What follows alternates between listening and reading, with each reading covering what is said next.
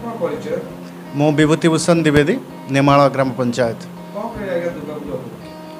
ପବିତ୍ର ଦୁର୍ଗା ପୂଜା ଅବସରରେ ନେମାଳ ଗ୍ରାମବାସୀ ବୃନ୍ଦ ତଥା ସମସ୍ତ ଏ ଅଞ୍ଚଳର ଗ୍ରାମବାସୀ ବୃନ୍ଦକୁ ମୋର ଶାରଦୀୟ ଅଭିନନ୍ଦନ।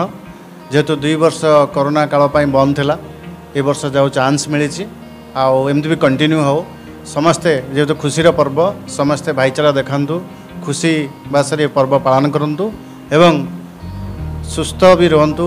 ମିଠା ଯେକୌଣ ମିଠା ସୁଇଟନର୍ ସବୁ ଖାଉଛନ୍ତି ତ ସାକାରିନ୍ ଜିନିଷ ଟିକେ ଆଭଏଡ଼ କରନ୍ତୁ। ସେଇଟା ମୋର ସମସ୍ତଙ୍କୁ ଅନୁରୋଧ। ଧନ୍ୟବାଦ।